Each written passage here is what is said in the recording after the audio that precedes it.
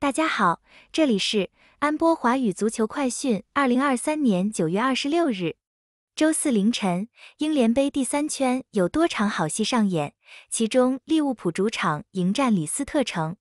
利物浦正处于各项赛事六连胜中，加之此前三次正式比赛对阵李斯特城都取得胜利，状态火热的利物浦此役挺进第四圈不在话下。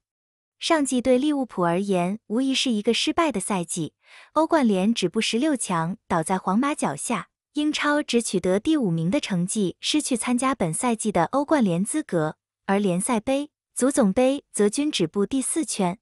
幸好在经过一个夏天的调整后，红军重拾状态，前六轮英超斩获五胜一和，暂列积分榜第二，入十五球仅失五球，攻防表现稳健。上季备受诟病的达云纽尼斯，如今也已融入球队。上仗对阵维斯咸的联赛，正是他射入反超比分的一球。目前攻入三粒英超入球的达云纽尼斯，也和穆罕默德沙拿并列成为利物浦的头号射手。此役主场作战，面对已沦为英冠球队的李斯特城，利物浦取胜不在话下。巴伦豪取二十一分。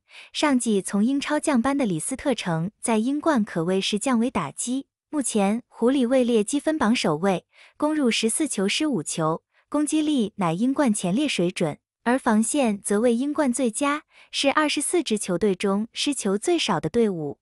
和大多数降班球队一样，李斯特城今夏也流失了不少主力。但球队也因此得到了不少资金可用于引援，前狼队队长甘纳高迪、前英格兰国脚哈利云克斯等人的到来，令球队的实力得到增强。外加维费特尼迪迪、博陈达卡等人的留守，李斯特城的实力并无下滑太多，至少征战英冠是绰绰有余。而重返英超无疑是他们今季的首要目标。既然重返英超是李斯特城赛季的主基调，那将过多精力投放至杯赛显然不理智。何况金帐对手还是苦主之一的利物浦。